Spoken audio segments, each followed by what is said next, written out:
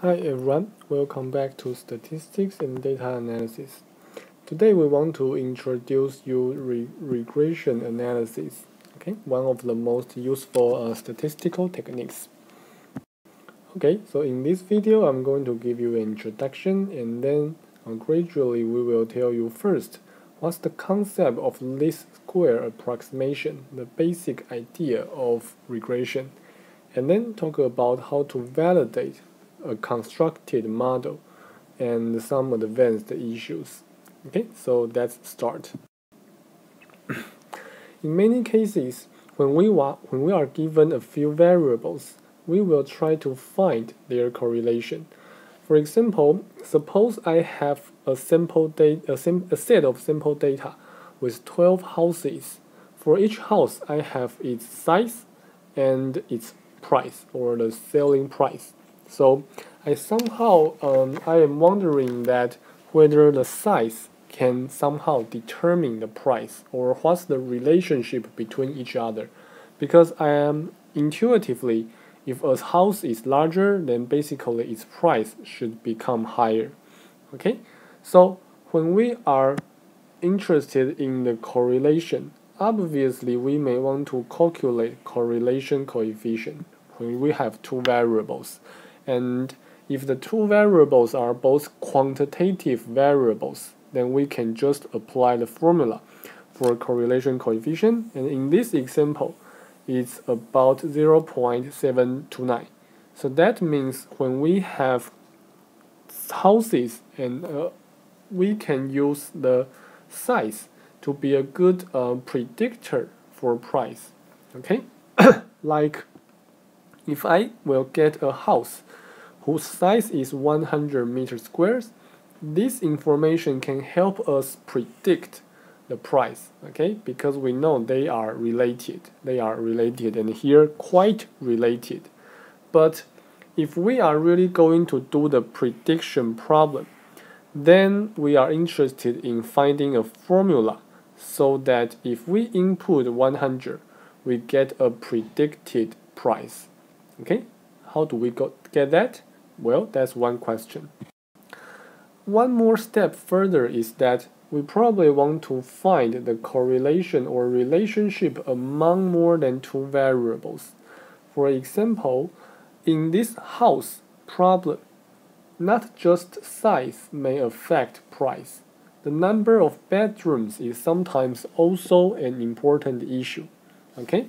So some houses they have different bedroom number of bedrooms and they have different prices.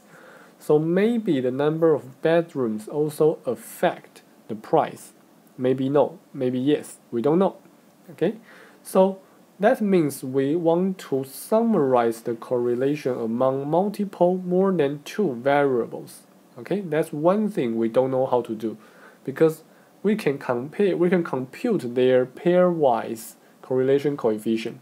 But if we want to use one number to summarize the relationship between three variables, we don't know how to do that. Or if we want to still do the prediction, if we want to use size and the number of bedrooms to predict price, then again we want a formula and we don't know how to do that, right? In general, we may have a lot of variables and we may want to find their relationships. We will want to ask that given a few variables, is it possible for us to predict other variables? That's the idea. That's the topic that we want to introduce today. So, for the given questions, regression is the solution. There are all kinds of problems, all kinds of um, solutions.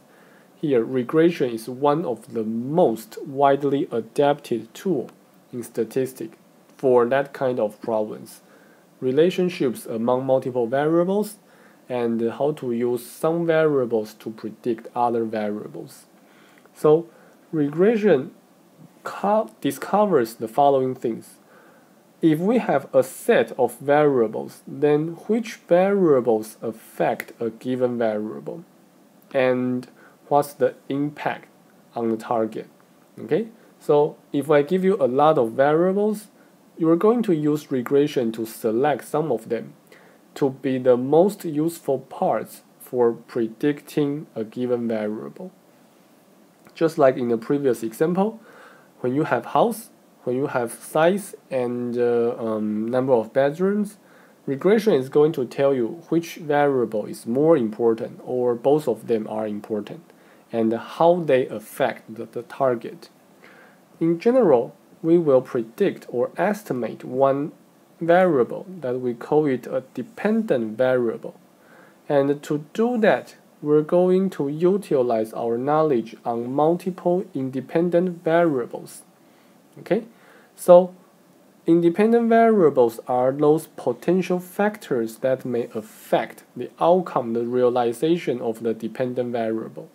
And the dependent variable is the thing that we are interested in, that we want to predict. Uh, it's the outcome. Independent variables are sometimes called explanatory variables and the dependent variable is called the response variable. So explanatory means I want to use these independent variables to explain to explain why the dependent variable is so high or so low. So they are used to do explanations.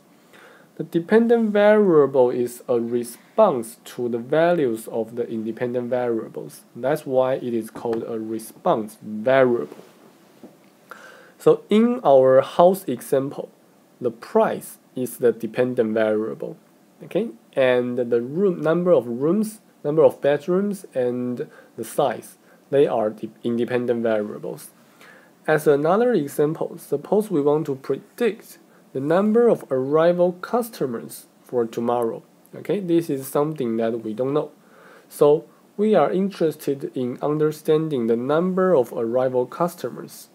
Then some independent variables or some variables that may help us to explain or to predict is that uh, what's the weather tomorrow, whether tomorrow is a holiday, whether there is a promotion or not, what's the price for that product, etc. Okay, so that's just one example.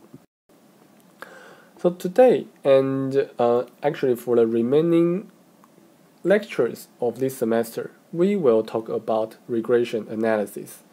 There are actually multiple types of regression analysis. So you can say regression is actually a family of models or a family of methods. There are a lot of them.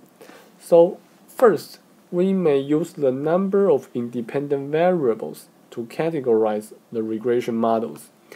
If we are doing a simple regression, that means we have only one independent variable. On the other hand, if we have more than one independent variables, then we have multiple regression. Okay, multiple regression. Or our independent variables may be quantitative or qualitative. Our independent variables may be quantitative or qualitative. In today's lecture, we will tell you how to include quantitative independent variables. Okay, so make sure that uh, you can remind yourself that everything we talk about today are with quantitative variables. Qualitative variables can also be chosen to be independent variables. In the next video, in the next lecture, we will tell you how to do that. We need some special treatments for them, for they to work. Okay, so that's something to be introduced later. We will only talk about something the so-called ordinary regression, where the dependent variable is a quantitative variable. Okay, so again, it's also possible to have a qualitative dependent variable. Uh, that's possible. But if we want to do that, we need some advanced techniques, which is somewhat quite different from the ordinary regression we introduced in this lecture. So basically in this course, we will only talk about ordinary regression. Uh, in this series of lectures, we will only talk about ordinary regression. Okay, so that means your dependent variable must be quantitative. Quantitative. So maybe later you will see some problems For all those problems, you will only deal with quantitative dependent variables. Okay? But independent variables may be quantitative or qualitative. It's just that for qualitative independent variables, you need some special ways to deal with them. That's going to be introduced in the next lecture. Okay, so starting from the next video, we're going to start our introduction to regression model building. Thank you.